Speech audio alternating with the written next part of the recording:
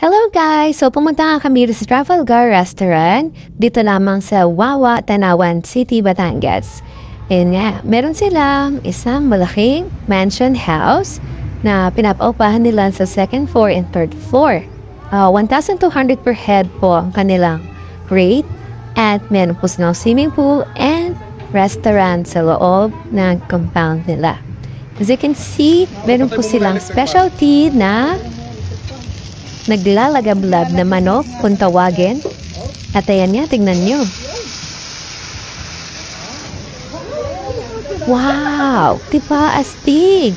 Gagawin po nila yan habang isi-serve po sa inyo ang mga menus. Or kung may order kayo na ganyan na naglalagablab na chicken, ayan, ganyan po ang gagawin nila. Diba?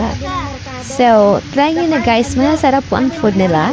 So, we had our um, buttered shrimp, naglalagablab na manok, chop suey, and sinigang soup. At yan nga, enjoy na enjoy na ang anak kong maglaro. Thank you guys for watching. God bless. Bye.